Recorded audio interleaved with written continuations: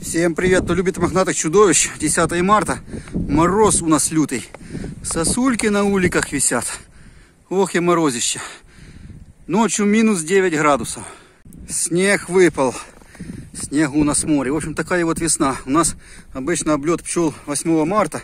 А это, наверное, будет как в прошлом году, 1 апреля облетятся. Надо менять методы пчеловождения, с учетом того, что пчелы теперь 8 марта уже не облетываются. Ближе к апрелю будут облетываться. Так, ну и задавали вопрос, что вот делать в таких случаях, когда вдруг резко заморозки. Вот сейчас откроем этот синенький улик, мы его постоянно открываем, чтобы было видно, что там делают пчелы.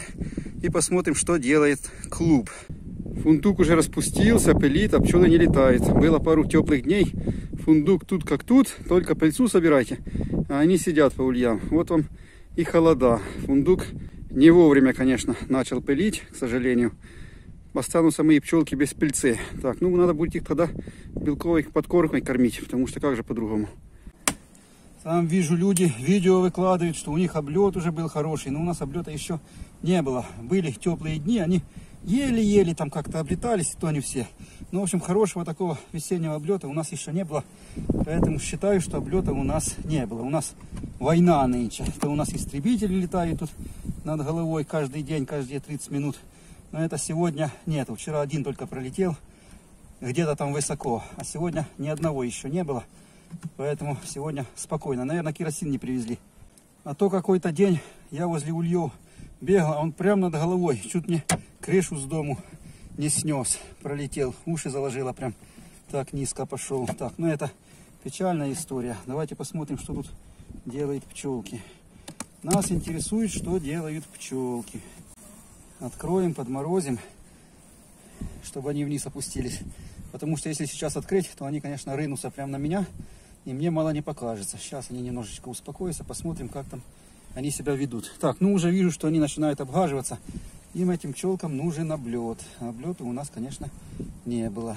Так, ну и задавали два вопроса. Можно ли их после облета сокращать? Так вот, после облета их надо сократить. Если вдруг там семейка ослабла, обсыпалась, и вы до этого их не сократили, то сейчас лишние рамки надо убрать, потому что надо экономить сейчас тепло. Сейчас у них пошел уже расплод, и надо экономить тепло, поэтому каждая лишняя рамка в гнезде – это лишний расход тепла. Поэтому желательно, если семейка вдруг у вас сидит в просторном гнезде, сейчас их подсократить. Оставить им столько, сколько они обсиживают. Сейчас расплода больше, чем на двух рамках не будет. Поэтому можно смело сокращать. Этим вы матку никак, скажем так, не затормозите. Вот они злые, холодно, начинают кидаться на руки.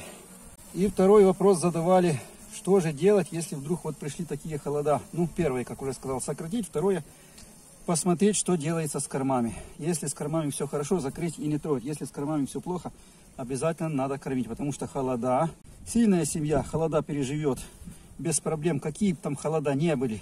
Сильная семья переживет, а вот слабенькие семьи, вот эти вот холода весенние, возвратные, могут не пережить, потому что клуб распадается, а тут резко трах-бах на ночь заморозки, и слабенькие семьи не всегда успевают собраться в клуб. И таким образом они замерзают. Ну, надо сказать, что пчелиная семья это такая штука довольно инерционная. Поэтому за день, за два они точно не замерзнут. Ну, в общем, по моему опыту, семейка не замерзнет, если холода у вас возвращается дня на три. То есть они три дня, даже слабая семейка, вполне себе сильные морозы может пережить.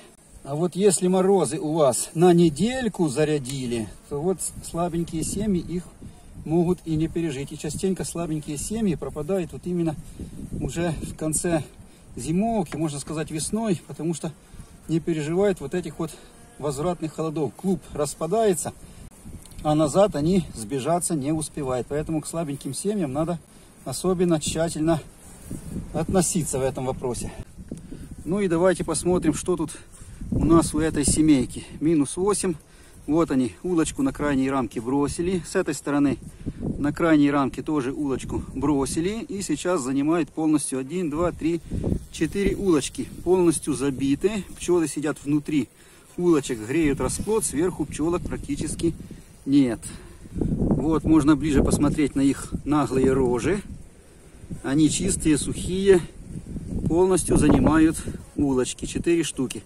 То есть эта семья, она сидела на 6 на 7 улочках. Сейчас они сбежались в 4 улочки и занимают улочки от начала улья и до следующей стенки. Полностью все в пчелах. Все четыре улочки забиты пчелами. То есть клуб у них распался, потому что клуб он в виде шарика, а сейчас, конечно, шарика нет. Так, сейчас что я сделаю? Сейчас я посмотрю, что там делается с подмором. Потому что с кормом тут все нормально. Я на прошлых видео показывал, я им подставлял рамки с кормом. Поэтому за корм я здесь спокоен. Тут кормов у них хватает.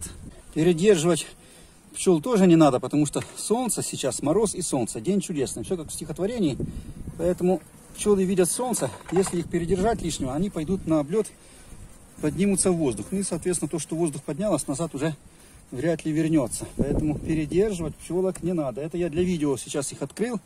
А в нормальной работе этих пчелок открыл, посмотрел и сразу же надо прикрывать потолочинку им чтоб они не видели солнышко, потому что видят солнышко, начнут подниматься в небо.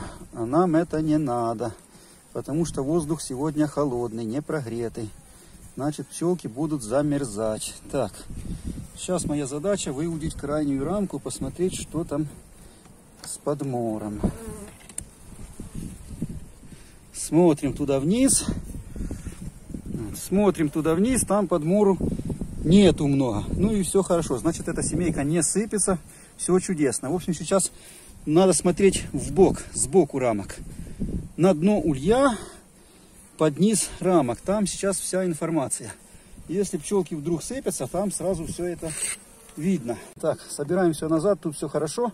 Все чудесно. Ну, самый главный инструмент, если у вас большая пасека, конечно, резиновая трубочка и слушайте, как гудут пчелки. Если пчелки вдруг притихли, потому что сейчас уже клубы распались, пчелы начали выращивать расплод, их в трубочку хорошо слышно, как они жужжат. Если пчелы ни с того ни с сего притихли, и их плохо слышно, надо открывать улей, потому что там, скорее всего, меду нет. Пчелы начали экономить, значит, мед. Прекращают всякую деятельность, прекращают жужжать и начинает экономить мед. Такие вот дела. Так что если у вас было тепло, а потом вдруг резко сильные морозы, сразу надо убедиться в нескольких вещах. Первое. Наличие корма у пчел. Если корма нет, не считаясь жертвами, которые могут быть, надо их кормить. Потому что без корма они холодов не переживут. Если кормов мало, кормить в любом случае, несмотря на погоду, несмотря ни на что. Пчел обязательно нужно, соответственно, утеплить, если клубы уже распались. Распались клубы, обязательно пчелок утеплите, не экономьте на утеплении.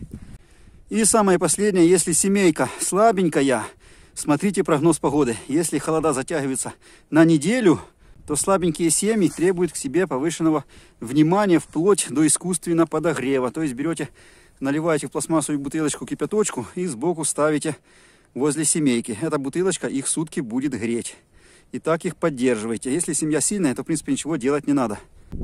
Такие вот дела. Так что утепление, подкормка и период холодов. Это все, что вас должно в это время интересовать. Ну, а сегодня было такое видео. Ставим лайк, потому что я очень жаден до лайков. И передаем привет моим хорошеньким медвежаткам. Опять где-то что-то бахает, кого-то бомбят уже.